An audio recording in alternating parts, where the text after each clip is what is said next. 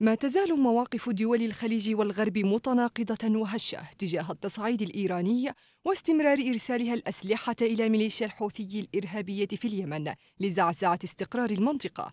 وفي وقت يتطلب تحجيم التهديد والتوقف عن تقديم التنازلات لأذرع إيران ومنها ميليشيا الحوثي وفق مراقبين.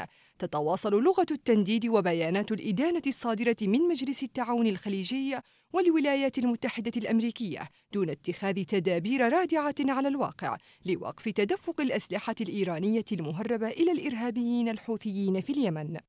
ففي ختام اجتماعها الثالث في مقر الأمانة العاصمة لمجلس التعاون الخليجي في الرياض أدانت مجموعة العمل الخليجية الأمريكية المشتركة الخاصة بإيران في بيان سياسات طهران المستمرة في زعزعة الاستقرار بما في ذلك دعمها للإرهاب واستخدام الصواريخ المتقدمة والأسلحة السبرانية وأنظمة الطائرات دون طيار ونشرها في المنطقة وجميع أنحاء العالم.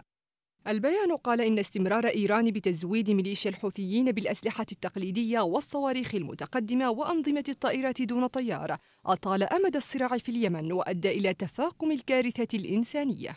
ومن بيانات الإدانة إلى الواقع حيث تسود مخاوف واسعة من التنازلات التي قدمتها السعودية والمجتمع الدولي لميليشيا الحوثيين في الأيام الماضية والمتصلة برفع كثير من القيود على عبور السفن إلى ميناء الحديدة دون وجود ضمانات بعدم استغلال ذلك لتهريب أسلحة وغيرها إلى الميليشيا.